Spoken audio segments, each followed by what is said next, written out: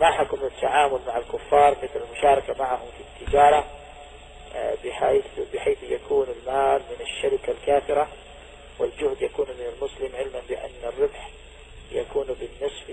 مع عدم علمه هل هو مال ربا أم لا. جزاكم الله خيرا. So this question is asking what is the ruling with regards cooperate, what is the ruling with regards interacting with the disbelievers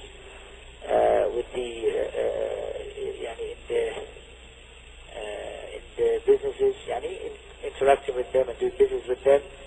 such that the wealth uh, from the company uh, يعني uh, is from the disbeliever who is, who is يعني working with and the juhd, the actual striving or the actual work is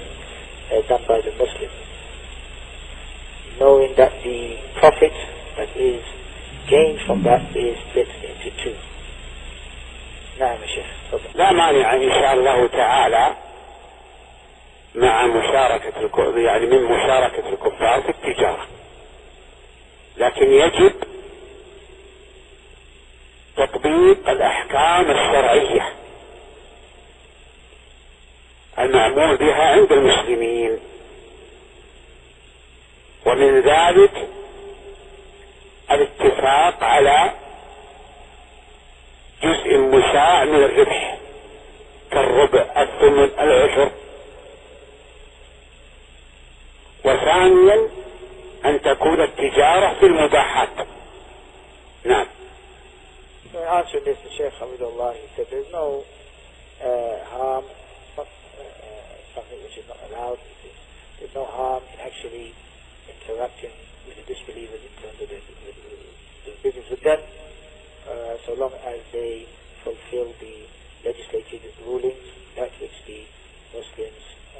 go by, which is practiced by the Muslims,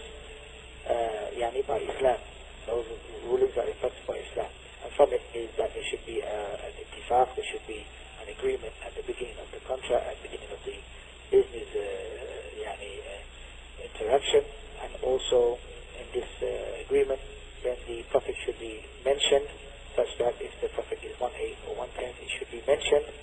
uh, in the agreement. And secondly, the tijara, the business that is